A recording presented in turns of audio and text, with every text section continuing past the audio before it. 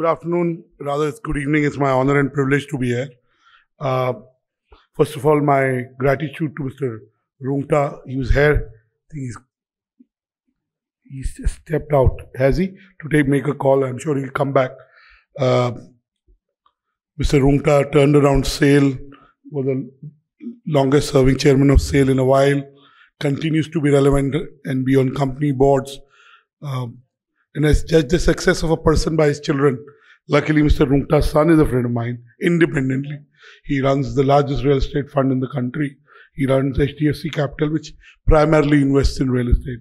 So uh, we couldn't have had a better person than Mr. Rungta to, to chair our BW People 40 Under 40 jury at BW Business World and all our communities, whether in the hospitality domain, on the CFO domain, marketing domain, the 27 domains that we are there. We do every award through a jury process. Sometimes I'm a part of the jury, sometimes I'm not part of the jury. But everything we do is run through a process. It's based on merit. It is based on all the jury members agreeing on the awardee. Uh, awards are a lot about elimination.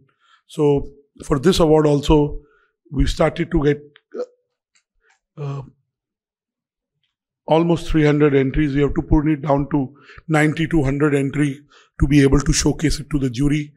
Uh, in olden times, used to do jury meets physically, face to face, but we've done the jury meet uh, through Zoom or whatever technology we use.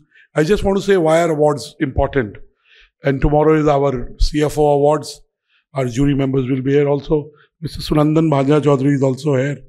You know, he's a friend of mine. He gave me my first job in media. That's how I came in the media sector. I collaborate with him. I have an easy relationship and a deep relationship with him. Mr. Rungta, I was just thanking you for being our jury chair. Please give Mr. Rungta a big round of applause. Uh, I was coming from Bombay. I had in my other company, exchange4media, my annual business planning meet. And uh, I met somebody who was from the steel sector, and I mentioned to him that Mr. Rungta is going to be at our awards, and he was full of praise for Mr. Rungta. Uh, so thank you for chairing the jury. I know you had a dental uh, thing planned for today, and we changed the dates quite a bit. It's the wedding season, so first we have to ask the hotel guys if the hotel is available, and then we have to ask the jury chair and the chief guest. I was talking about our awards. You were the jury chair, and you know about about our awards we do it through a jury process. So I was at an event and um, we're very proud of the way we do our awards. I love all media companies because my first company is about the business of advertising. I want all media companies, all companies to do well, whether media companies or not non-media companies. Life is about abundance. What is destined for me and for all of us is destined. So while we compete, I think there is enough for all of us. But I must say that we don't sell our awards in any sector. I will say it loudly uh, because it does differentiate us. And I'll not get into what who does what. As I said, I can say that I know the media sector as well as anybody, or possibly better than anybody, because my first business is on the business of media. Our awards have three layers. One is our selection. Uh, of the 90 or 100 people that we'll get the jury to see. Then in the process of the jury members going through your profiles, it is sent to them much in advance with comments. Some see it, some don't see it. That's how it is, busy people on the jury. So that's why the presentation matters. Again, awards, you may say in two minutes, three minutes, but average time spent after we say that it is three minutes is about 10, 11 minutes. Okay. The jury meets always, we have to do another day. Um, we started to break jury meets now in two days so that the 10, 12 minutes can be spent. How would you judge a person, a professional, in 10, 12 minutes? Now, as I said, the jury process is also process of elimination. Second, we make our recommendation. Third, the jury members, through their years of experience, are quite capable of judging and selecting the right people. Having said that, I must tell you instances where people I have believed in have not been able to go through the process and win because, as they say in cricket, that day they didn't bat well. You know, they were very good. So if some of you applied, were shortlisted, and for some reason are not in the list, then possibly on that day you did not play well. It doesn't mean you're not good. I must tell you that I tomorrow's our CFO awards, and I was at the last CFO awards. It happened at the Lalit last year, and I met a person, and he made a very long speech, and he cried, and he said how he got an award from Business World in early part of his journey, six or seven years back, and how it helped him in his career. I think he was giving us too much credit. That is predestined. But fact is, right recognition through the right process with the right jury chair and the right jury members from a credible media company does can be a motivator, can be an encourager. Today we are awarding HR leaders who have shown promise, who have a proven track record, and who are leaders of future. Your HR leaders um, and post Corona, a lot of things have stayed same. A lot has changed. I just want to say that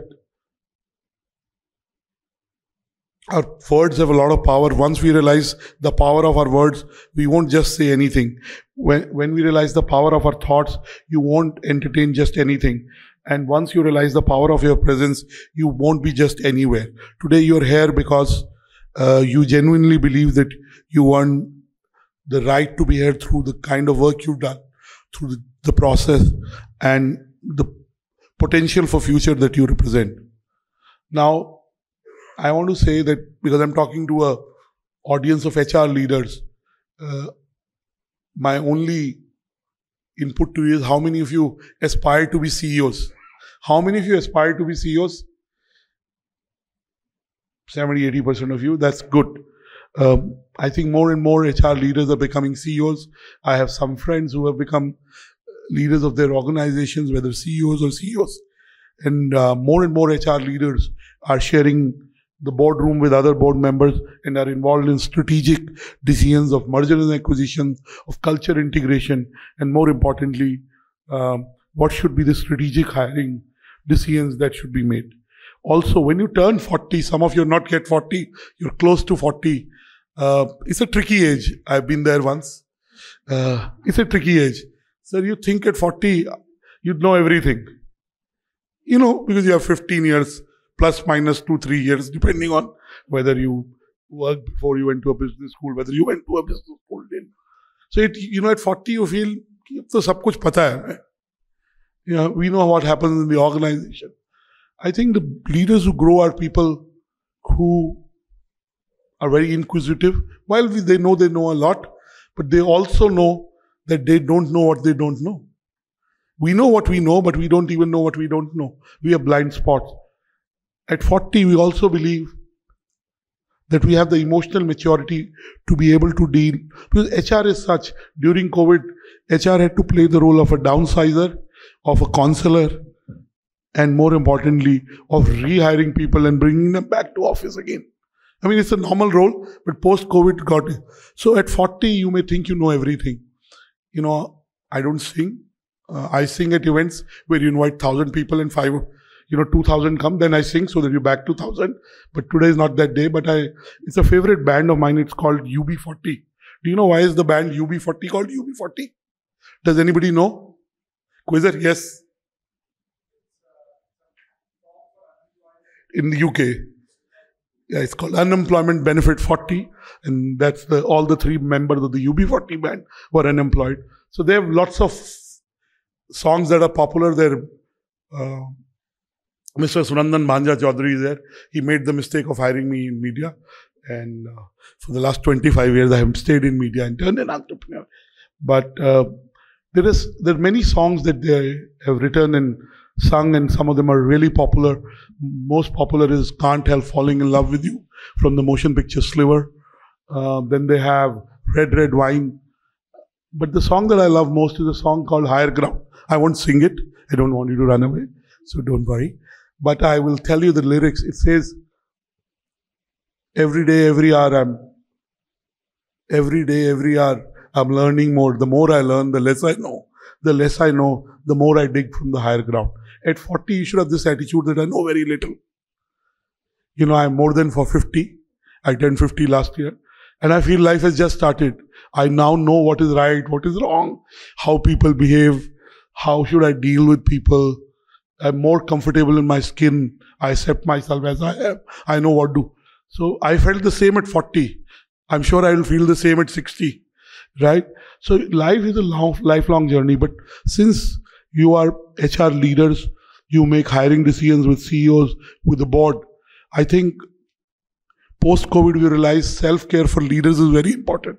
You know, the quality of sleep. No one talks about sleep in an HR conference or in any other conference in business. The most important thing for success is peace, is good quality sleep. We take red eye flights. That's not good. If people can be rested, sleep well. I know no one talks about sleep. According to me, the most important thing to do well in life is good quality sleep. Second is empathy. Again, whether in the business school or throughout my career of almost three decades, we've been taught of empathy and being kind to others. I think sometimes we get too business like. While we should be business like, I think we should bring in a dash of kindness in everything we do, of forgiveness, of empathy. Because when you forgive, you may possibly create a better human being.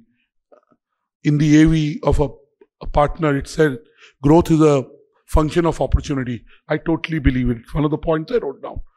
Uh, a lot of times we hire from outside. I genuinely believe a lot of talent exists in organizations.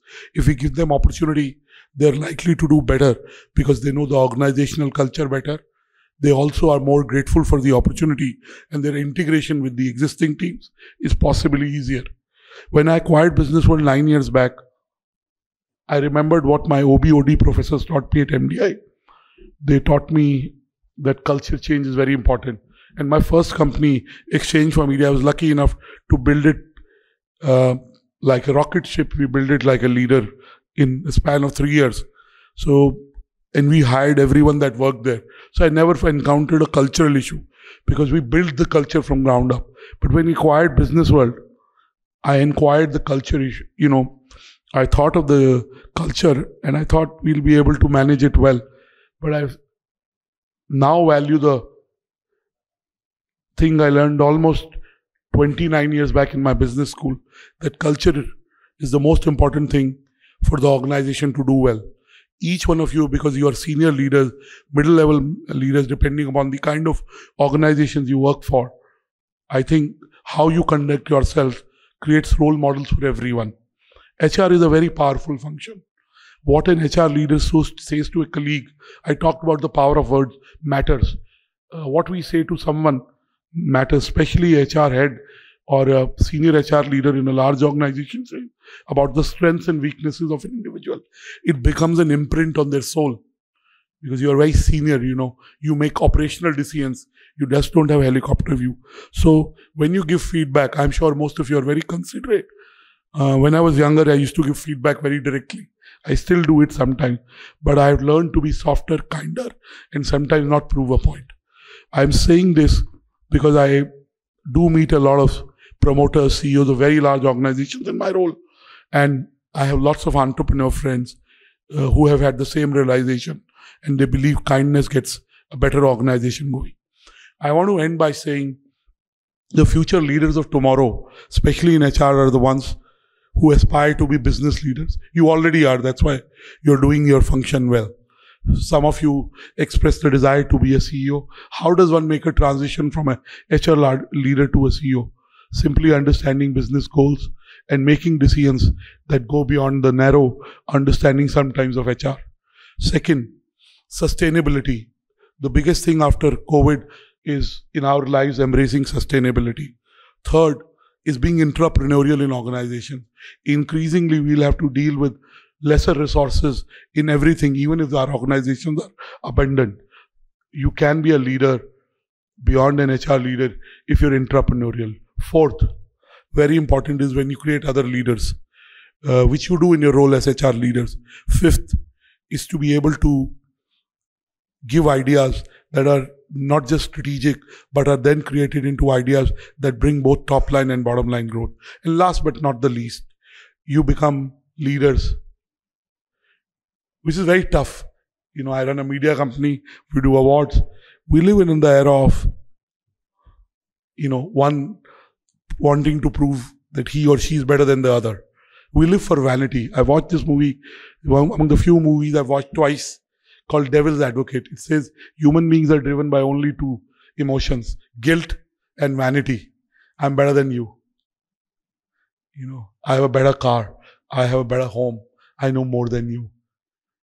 So the day you're able to come to terms with both guilt and vanity, uh, I think you'll be better human beings and better leaders.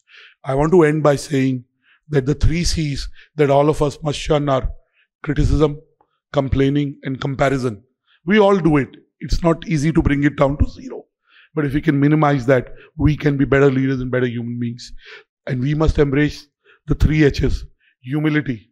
The higher we go, even after winning the award, I think you have more responsibility to be humble. Uh, second is hope. I, as an individual, always believe to, tomorrow will be better than today. I work towards it. I live my life like that. Everyone who knows me knows that I'm not saying it. it is something that I'm saying on a stage. Third is hard work. I believe in hard work, though my wife keeps telling me, Anurag, you should work smartly. So I don't know the difference. I know only how to work hard and how to delegate. That is, for me, smart work is delegation. I delegate a lot and that creates fulfillment. So I wish you luck in your endeavor to be CEOs, uh, to be entrepreneurs, to be entrepreneurs. We at BW People want to be a community that is a leader community. We know we have a way to go, but in the next few months, you'll see us upping the quality of content we do in all formats, whether print, online, or video. You'll see us doing more initiatives which will be of some meaningful value to your professional roles. I wish you luck. And I want to tell you, we at BW Business World uh, are a multi-platform, 360-degree media platform, and we built communities. While Business World is B2C, we built 27 B2B communities in various sectors, and 12 of those sectors we are unchallenged leaders, like hospitality, like legal. I would go on. So we look forward to embracing. Uh, what you do, learn from you, and play a meaningful role in your life. Congratulations to all the winners. Thank you to our jury members and our jury chair, Mr. Rungta, uh, to be able to spend time and select these winners. The winners have been selected through a robust process of screening, of presentation, and editorial integrity. Today's winners will also be showcased in, a, in, in the print issue of BW People and the print issue of BW Business World. My colleague Sugandh is here and other editorial colleagues are here. Sugandh is the lead on BW People. She'll be able to record your bites, engage with you, and make sure that you are featured in the magazine. I wish you luck and look forward to celebrating your achievements and your future journey. Thank you. God bless you.